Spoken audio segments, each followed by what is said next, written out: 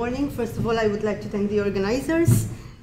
And I am Sharon Sultana, and I'm the senior curator of the National Museum of Archaeology in Malta. Why Zammit? Well, basically, um, Themistocles Zammit has been known in Malta as the father of Maltese archaeology. And he is the source for many researchers. Basically, many people, many researchers, both local and foreign, come to the museum um, to look through his notebooks and see his collections. Um, but basically, they are mostly site-specific. So someone would be um, studying one particular site and looking at the notebooks for that particular site. What I intend to do for my PhD, for which I have to submit a proposal soon, is basically go through the recording methodology of Zammit throughout his years and see the development of his, his recording methodology and his collections and basically the effect it had on, on the local um, archaeology. now, for those of you who might not be familiar with where Malta is, we're here. Yes, and a very tiny dot in the middle of the Mediterranean. Yes, people live there. I am one of the 475,000 people who live on that dot in the middle of the Mediterranean. And however, due, and even though it's very small in size, Malta is 27 kilometers by 14.5 kilometers. You can cross from the southern part of Malta to the northern part, basically 45 minutes by car. That's when there's no traffic. As you can imagine, Malta is overpopulated, and when there's traffic, it can take like three hours. So, however, due to its strategic position in the middle of the Mediterranean, basically Malta has been, um, since the Neolithic period, a haven for a lot of colonies. People coming and wanting to make Malta, you know, part of their colony, um, because it was, it, it, has very good national, um, natural harbors, and obviously it's in a very good position for them to be able, you know, to connect to other places. So, um, since the Neolithic period, you had, you know, Neolithic people coming over from Sicily. Um, they are basically our sort of first illegal immigrants, and basically throughout the Bronze Age, Phoenicians, Romans, you know, it's, it's it goes on um, until 1964 when Malta gains, gained uh, its independence. So all these people who came over and settled in Malta basically left us a, a wealth of cultural heritage, which nowadays uh, is regulated by the Cultural Heritage Act, which was enacted in 2002. But as we shall see, that was not always the case.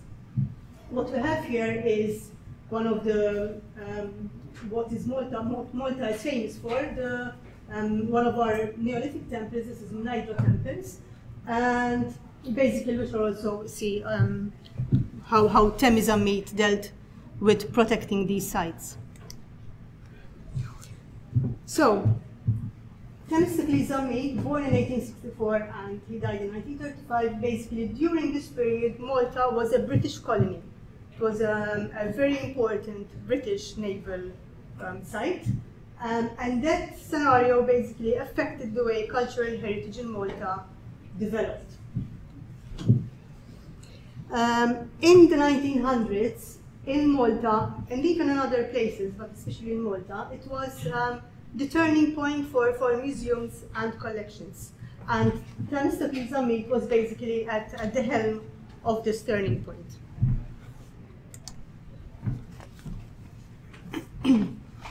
Now, Zammit, as he is more popularly known, um, was a doctor by profession. So um, he graduated in 1888 um, as a doctor, and in 1891 he was appointed the analytic chemist um, to the sanitary branch of the police department. And he held that post until 1920 when he became director of university. Um, in 1905, he discovered um, the cause of undulant fever, um, which basically he realized that this was coming from unpasteurized goat's milk, and thereby, you know. But um, his discovery was not immediately attributed to him, because basically there were a team of, of British doctors working with him, so you know, um, it was only later that it, this discovery was attributed to him.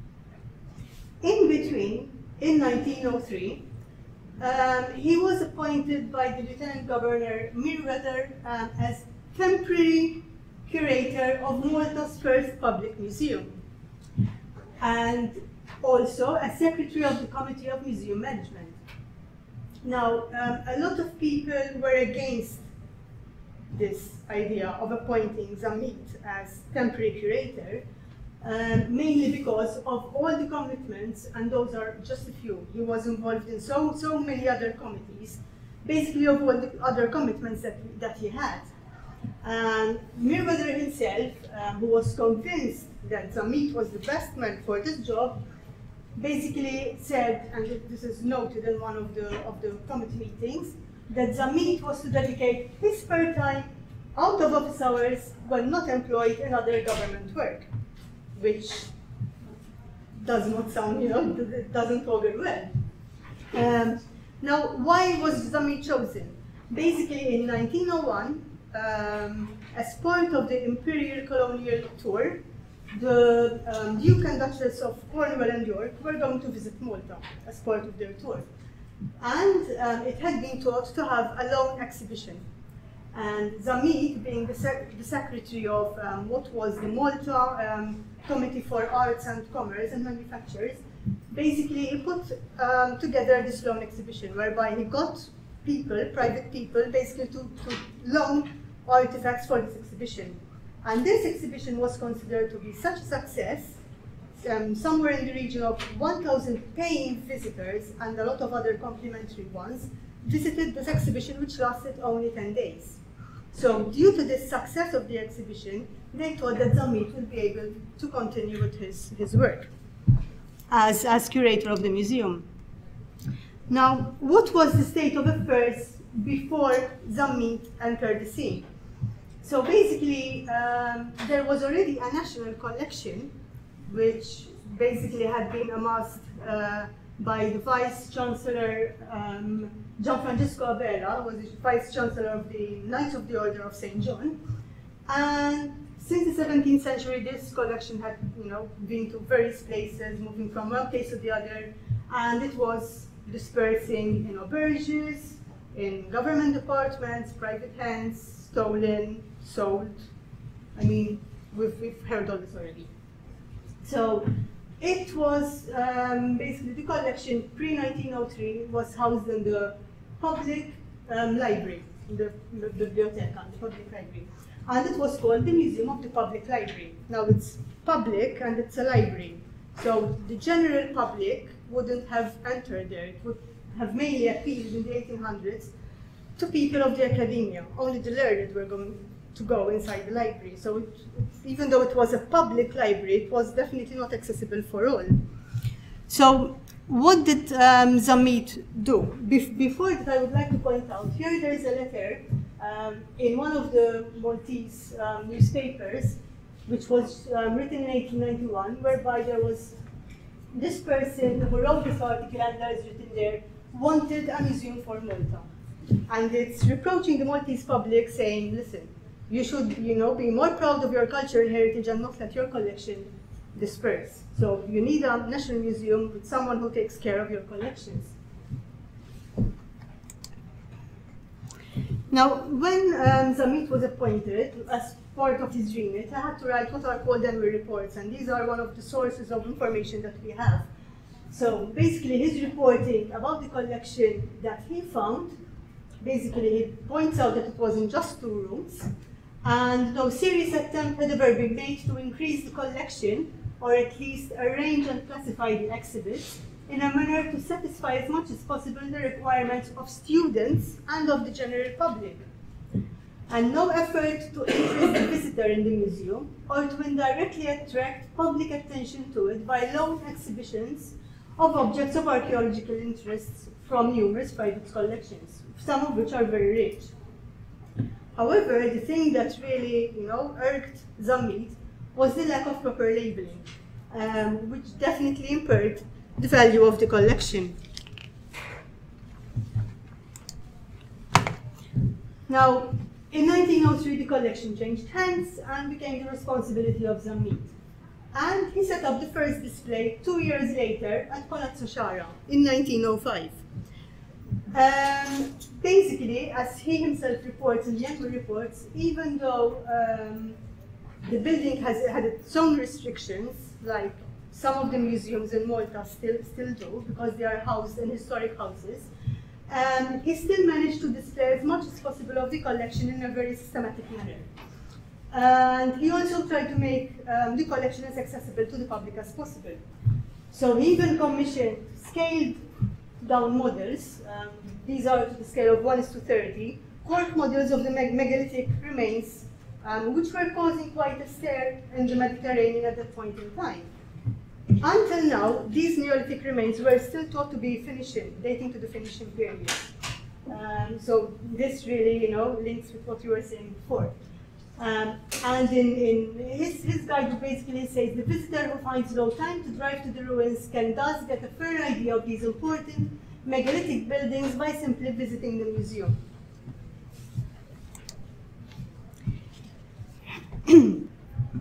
now, um, basically, and I will not go into this for, for basically a lot of time, um, he did have a very good relationship with the British authorities.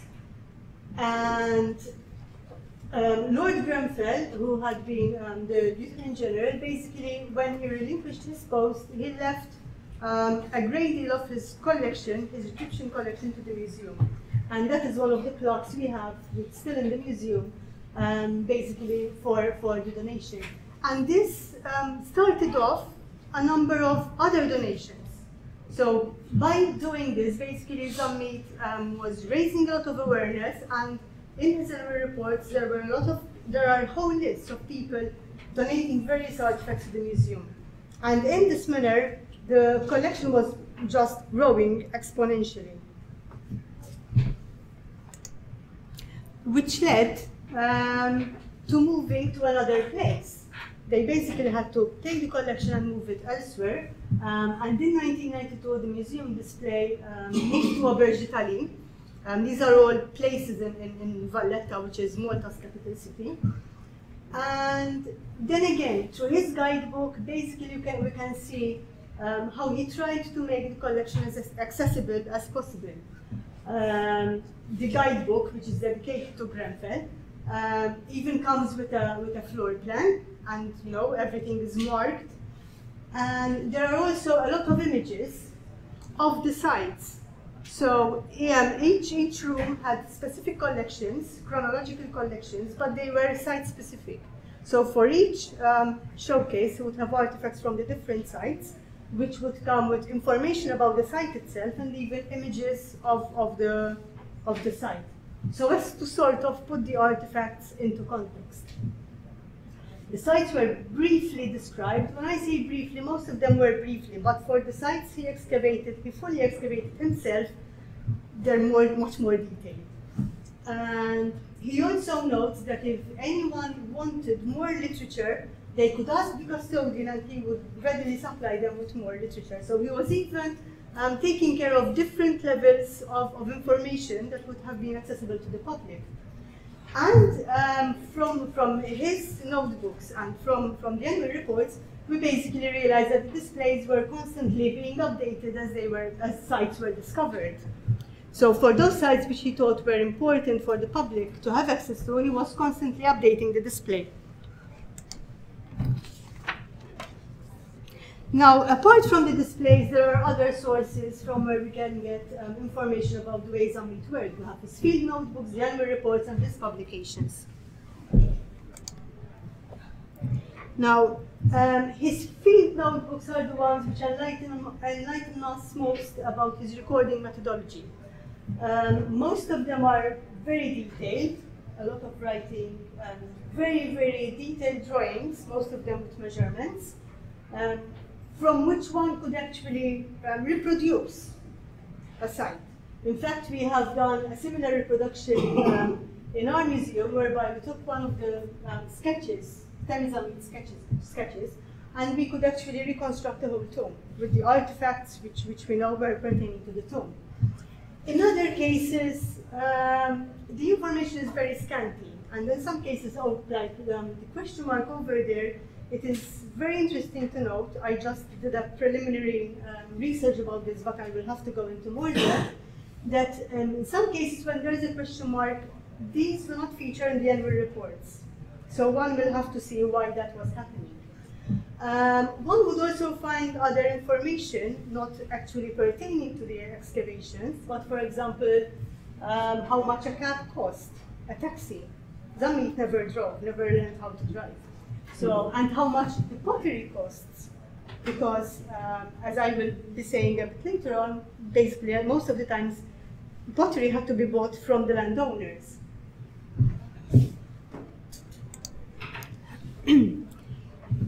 um, whatever was written in the field notebooks, mainly the main emphasis was on the collections. So um, we do have very detailed um, drawings, sometimes in watercolor, mainly um, mainly in pencil, but then drawn over in, in pen, and um, some of the artifacts from which we can basically even provenance when we have um, difficulties. Photography was one of his recording methods, and he used to annotate um, on the photos. We have thousands of glass negatives, which we're basically doing the conservation of. now, um, legislation at that point in time did not exist. So basically what was happening, whenever there was um, infrastructure buildings, a lot of material was coming out, and he was basically just doing rescue excavation. And um, in some cases, he would even choose just to take photos and not acquire the pottery. And the reasons for this would have been multifold. Basically, um, it was lack of space in the museum, and here we already have um, notions of the accession, the accessioning policies, something which to date we do not have at the National Museum of Archaeology. And, but he would still take photos of the artifacts which he would have left on site. And at this point in time as well, very important sites had, weren't even fenced over. So he was really pushing hard with the local authorities um, in order to have um, a legislation. In, 19, in 1910, basically there was some sort of legislation which had a, a lot of loopholes, but basically here Zammit was saying that um, he was pushing the government basically to um, and, reposition the, the, the, land. So basically the sites would be for, for the public and not, not in private hands. Um, and basically what he's saying is, owing to the excessive population and narrow limits of these islands, our monuments are in danger of being destroyed by ignorant people. He, he didn't mince his words. Through carelessness, many interesting monuments have already disappeared, but fortunately many more still remain enough Indeed, to make the Maltese Islands from an archaeological point of view the most conspicuous space in the Mediterranean. He was very proud um, of, his, of his heritage. He obviously made a lot of contacts with people abroad. Um, he took artifacts abroad with him whenever he visited places in order to get feedback on the artifacts. Um, here we have, you know, two people, Margaret Murray and Crawford. Margaret Murray affectionately says that um, his British friends refer to him as Tammy Dammit. Um, so basically, um, what I went through was quickly um, what he did during his temporary employment, which eventually lasted over 30 years. And that's the end of it. Basically, there are a few suggested um, reading titles. And I do appeal that if any one of you um, ever comes across anything related to Zammit, um, lately we brought down books which weren't known to be pertaining to Zammit from UCL because they were found in a cupboard somewhere. And so anyone who has any information can just send an email address. Thank you.